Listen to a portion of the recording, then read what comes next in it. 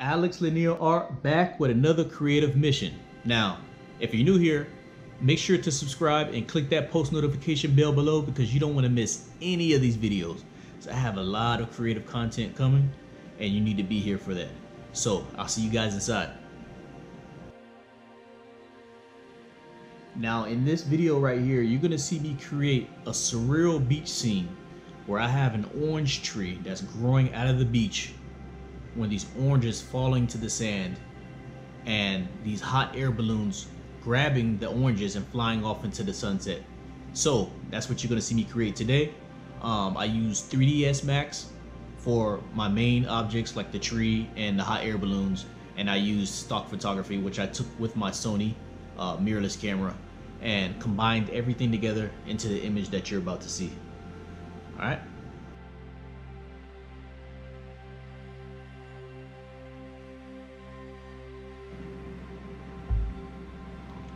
So now I'm starting off with 3D Studio Max and here's my tree model. Just setting that up, setting up the camera, setting up the background. I brought in my beach background image of a photo I took on Venice Beach in California. So I'm trying to match the tree up to the perspective of the photo right now. Trying to get that in place. And now just starting to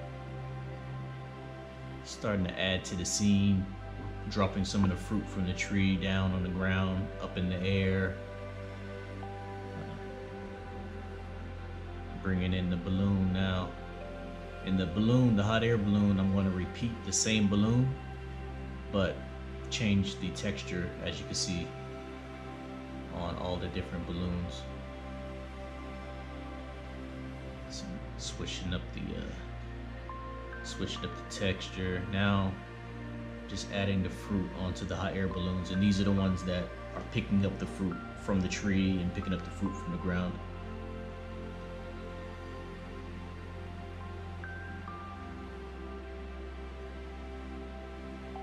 populating the sky up, adding all the balloons around, just trying to trying just trying to put the scene together, trying to figure out a composition right now.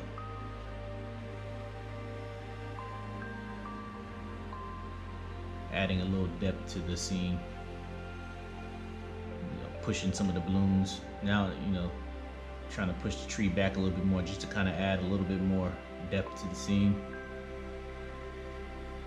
A little test render. Texture's not quite how I want them, so I'm kind of tweak the texture a little bit. Something like that. A little bit more balloons in there. Because right now, right now it's just kind of figuring out the, the, you know, how I want the layout to be. Because this is how it's going to be once I bring this the 3D this 3D model into the actual image. So this is this has to be right at this stage. So another render. And this one this one came out pretty good. I think I like the way this one turned out, the layout. Now we're in Photoshop. Let's take out this sky. And I'm using the magic eraser you know, just to get the main solid uh, chunks of the sky out. It's an easy way to do it. Just click that magic eraser and then go around and click out the solid areas. And it's easier if you have more of a, um, a solid color than a, you know, a lot of things going on. Because the magic eraser will knock out all the tones of the color that kind of match what you're clicking. So just now just kind of going in and cleaning it up a little bit. I put a dark background in so I can see all the little leftover areas while I'm cleaning up these palm trees. This takes a little time, but you want to go in there and get it just right by hand because that's the best way for me. getting that going.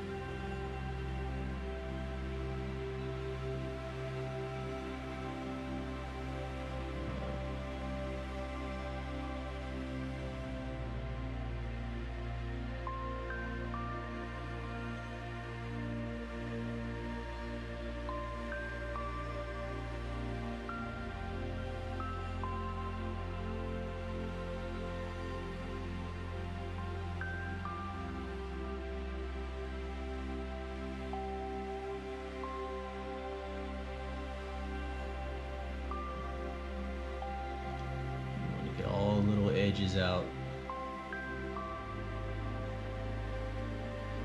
So this is gonna help me get a better selection of the trees once I get ready to color correct the trees to match the new background.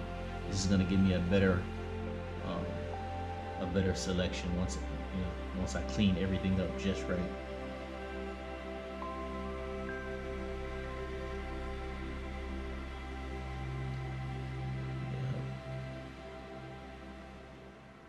And like I said, it takes a little time, but this is the best way that I know how to do it. it. Is just to go in, you know, zoom in past, you know, actual pixels and just go in and get everything just right. So now I'm going in and I'm kind of adding in the color to the edges. Just so you don't get too much of a white outline.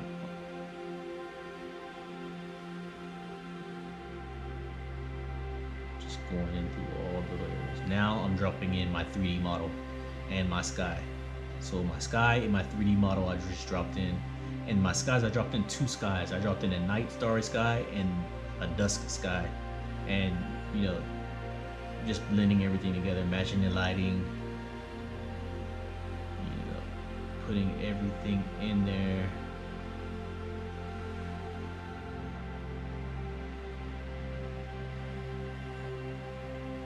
Adding in some atmosphere, just something that kind of glues everything together. You know, a nice haze that kind of glues everything together, kind of, you know, fades off the sharp edges a little bit.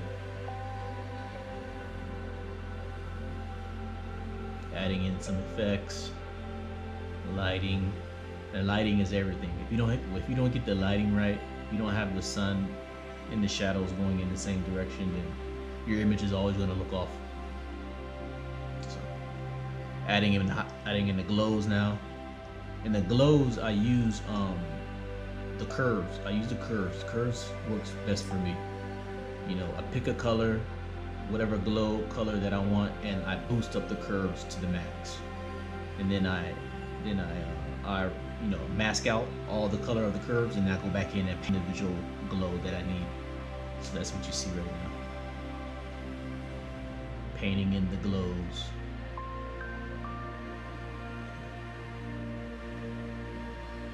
Fixing the haze, you know, making sure the glows aren't too strong, but just right.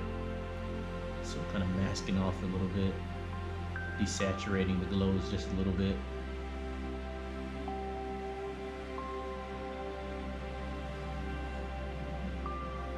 Cleaning up the 3D model.